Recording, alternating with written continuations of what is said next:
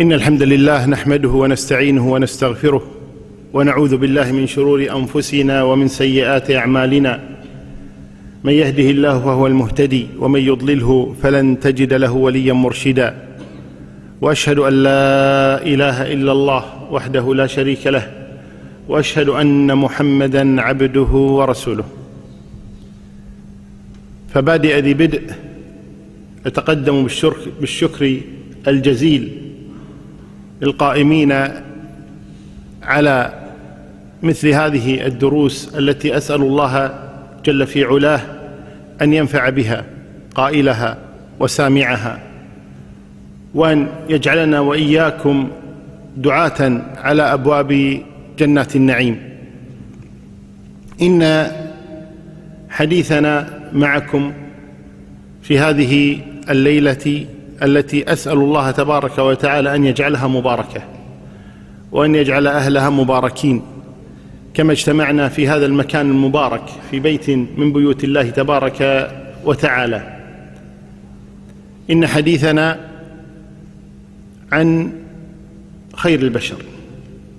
بعد أنبياء الله صلوات الله وسلامه عليهم أجمعين. وذلك أن الله تبارك وتعالى يصطفي من الخلق ما يشاء. جل في علاه.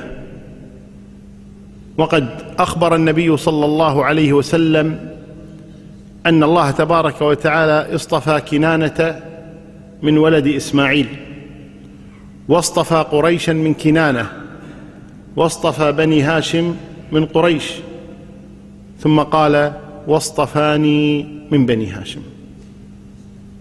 هذا الحديث الشريف الذي أخرجه الإمام مسلم في صحيحه.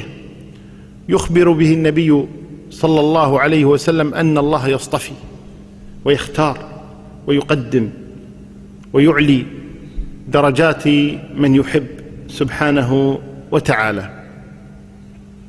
إن حديثنا عن أصحاب المرسلين بل عن أصحاب سيد المرسلين صلوات ربي وسلامه عليهم أجمعين.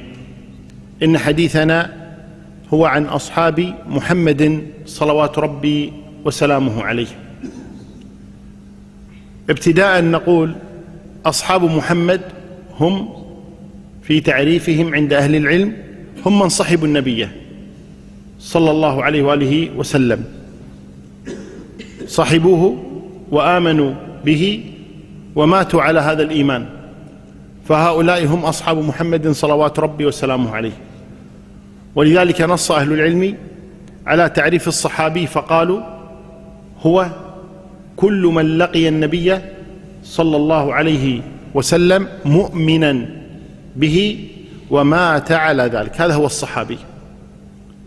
يشترط أن يكون لقي النبي صلى الله عليه وسلم سواء سمعه أو لم يسمعه رآه بعينه أو لم يره لأن قد يكون أعمى مؤمنا به لأن الكفار لقوا النبي. صلى الله عليه وسلم ولم يؤمنوا به. والمنافقون لقوا النبي. ولم يؤمنوا به. يشترط أن يكون مؤمنا به حال لقياه ومات على ذلك. أي مات على هذا الإيمان. ولم يكن مع المرتدين. الذين تركوا دين الله تبارك وتعالى وانحرفوا. وإنما ثبت على دين الله تبارك وتعالى حتى توفاه الله جل وعلا. هؤلاء لهم شرف. يسميه أهل العلم بشرف الصحبة أي تشرفوا بصحبة هذا الرجل هذا النبي الكريم صلوات ربي وسلامه عليه. ذكر الله تبارك وتعالى فضل أصحاب النبي صلى الله عليه وسلم في كتابه كثيرا وأثنى عليهم ثناء عطرا سبحانه وتعالى ليبين لنا مكانتهم. وكأن الله جل وعلا يقول لنا احذروا من يطعن في هؤلاء. فها أنا ذا أكثر من ذكر فضلهم ومكانتهم وقدرهم ورفعة شأنهم حتى لا يأتيكم أحد بعد ذلك فيطعن في دين هؤلاء القوم.